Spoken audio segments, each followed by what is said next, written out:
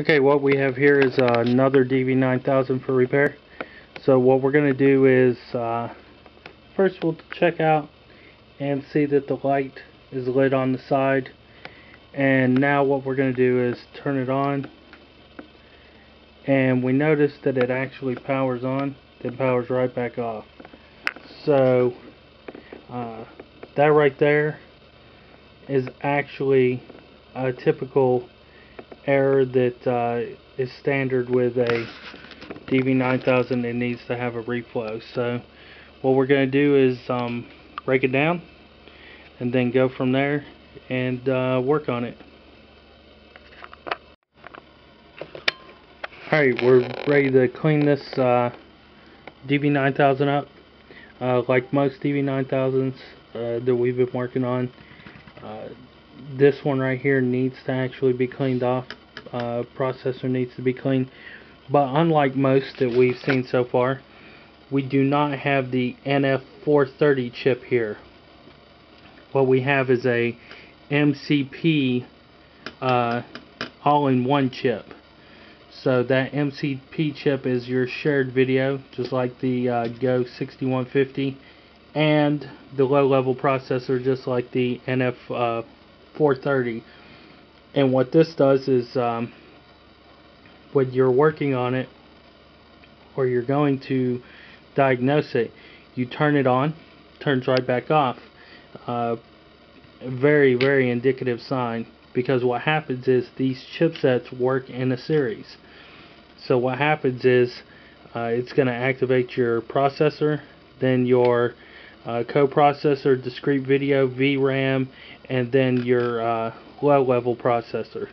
So what happens is these all engage in a series. With only one, engage, disengage, engage, disengage. Boop, boop, boop, boop, boop. Turn off and on, just like that. So that's why we see the rapid succession of turning off and turning on uh, with this system unlike the other ones but that's an indicator is it has the MCP chip. Uh, pretty common. So what we're going to do is clean this up and then reflow it and then go from there to testing it. So just like all of our other reflows we're going to reflow this one on the uh, single chipset. We have to make sure that the board actually gets uh, heated up so that what happens is it doesn't cause the board to flex or bow and um, we'll go from there. So what we're going to do now is uh, just like every other system we uh, crank it up and um, it's pretty complex except for this one like what was uh, stated before has just a single chipset. So we'll position this uh, light over top of it lower it down a little bit and uh, turn it on. Same temperatures uh, same uh, distance. You can lower it down pretty close uh, same exposures and um, everything on it should turn out perfectly fine just like everything before. So what we're going to do right now is just reflow it like I said before and then we'll go from there uh, since we don't have any HDMI's we have nothing really to uh, worry about besides that actual reflow there. Another point that I'd like to make real quick. Uh, questions that I've been asked happens to be uh, this Arctic Silver here compared to this Matrix. Uh, the compound here. So what happens is um, when applying this compound you have to be very careful because it's 99.9% .9 by volume uh, silver. This is not. And what happens is um, this is actually electrically conductive and this is not electrically conductive so applying this to here uh, could fry your chipset just as well as putting a copper shim on there. Whereas applying this to here will not. So you have to be careful with this one, but not careful with this one because it's not electrically sound. With that being said, you don't go and put half a tube of this on there thinking that more is going to cause it to uh, work better. What happens is you reach a certain apex level where your line goes like this on a graph. So when you're going here and then the line's coming across here, if you were to graph it out, this point is the optimum point and over here is you know where it fails and this is where it's supposedly the best but it doesn't ever chart like that. So logically if you put half a tube of this on there, what's going to happen is it's going to go from a uh, it's going to go from a wicking or a uh, thermal relief to an insulator. And by it becoming an insulator, what it does is it causes it to actually keep and retain the heat instead of passing the heat off. Um, so, more is not better and remember that this is electrically conductive uh, in any application that you use it. So you have to be extremely careful with it. Uh, with that being said we're going to use this up until it's gone and then move on to this one and use it. We use this one on our processors and other key components like that and we use this one and other electrically uh, sensitive cases since it's non-conductive. So just like all of our other uh, systems that we work on, we're going to perform a burn-in for two hours on this one. And um, as we can see, I've actually, for ease, put the monitor on the floor, but um, we'll see where that's starting at. And it looks like it's two minutes in we'll say two minutes to be fair. And um, we'll just let it do its burn in so uh, just like every other system we got to let it run for two or uh, maybe two two and a half hours just to make sure that the uh, thermal compound actually uh, doesn't bleed and doesn't develop air pockets and uh, does what it needs to do. And that's going to uh, ensure that we have a properly um, developed system and it's ready to go. So we'll come back here in a little while and see what happens. So now we've uh, run our repair uh, burn-in for about two hours now. Um, just a small note about this actual burn-in uh, and what this is going to uh, do what we've done is taken this uh, heat probe here, put it at the end of our fan, just to show what kind of heat is actually passing out of your system. So we have that at 123 degrees Fahrenheit. When we first started this, we noticed that the heat coming out the fan was only 112 degrees Fahrenheit.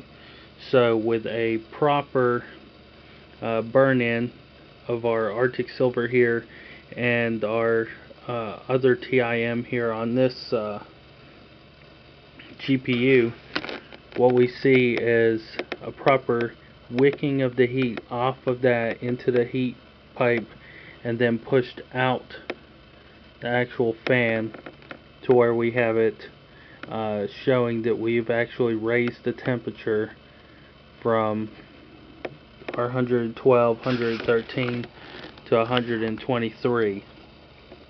So it shows that our uh, thermal uh, conductivity here of actually pulling the heat away is actually working.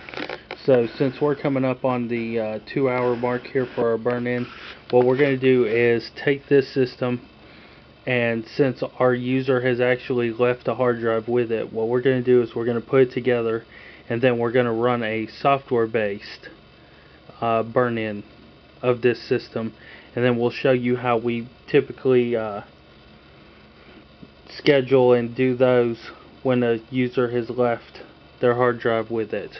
So we'll go from a hardware based burn in to a software based burn in test program where it simulates uh, 30 days of use in 15 minutes and then we'll go from there after that. But we need to put it back together. So that's what we're going to do. So now we've gotten the laptop to start up and it appears that everything has booted fine. Trackpad's working fine. Um, the wireless is actually working on the system uh, by the indicator blue light so what we're going to do now is get this uh, system started to where it'll go to uh, our uh, program that we're going to use to um, run our burn in. So what we're going to do now is uh, get the program installed and then go step by step to our software burn in simulations and we'll do that here in a minute. So now we're uh, about to use uh, the program that we use for testing. It's called a burn in test and it's uh, well it's just exactly what it is burn in test and it's by Passmark and it seems to work pretty fine I've had uh, no problems out of it in the past um, and we'll see what happens here. So we'll run it here install it and then after that we'll configure it to actually uh, run the test. But um, the test that it runs uh, pretty much simulate everything that you'll need to um, perform a burn-in test at the software level. This doesn't include uh, curing the thermal compound you'll still need to cure the thermal compound uh, as a primary step and then run this as a secondary step to see that your chipset can actually hold the VRAM and everything after that. So what we'll do is uh, let this program install and then we'll configure it and then run the test and explain a little bit after that. So as what we can see with uh, the program here is uh, what we're actually going to do is uh, six tests. And the first test is CPU at 100% for 15 minutes, uh, RAM at 100% for 15 minutes, video at 100%, and then hard drive at 100%, 3D graphics, and 2D graphics at 100%. And what this does is it pretty much uh, performs a load on it um, then of course we'll get uh, reading of everything after that. This is just uh, telling us a configuration of the machine and then we'll get the results here and then it'll actually rate and gauge the temperature here. So as we go along that's what we'll do but um, we'll start it up here and hit OK. We've got our configuration set. Now we'll hit uh, the start for selected test, hit OK and um, it's going to go through and do what it needs to do. It's going to start setting everything up and running the test. So now it's doing the load test and we'll let it run for 15 minutes and then come back after that and uh, see what the results are. So now we see that uh, our burn-in test is complete.